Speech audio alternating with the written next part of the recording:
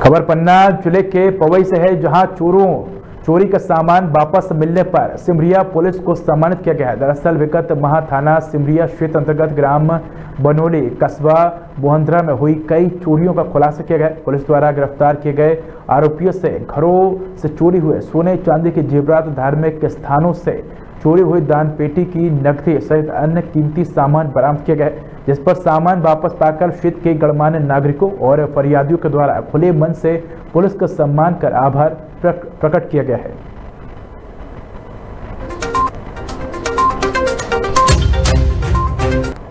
क्या है कि मोहनदरा चौकी क्षेत्र में और बनौली गाँव में बीते कुछ महीनों पहले चोरियाँ हुई थी, जिसका पुलिस द्वारा बड़ी मेहनत के साथ, ईमानदारी के साथ उसका खुलासा किया गया था।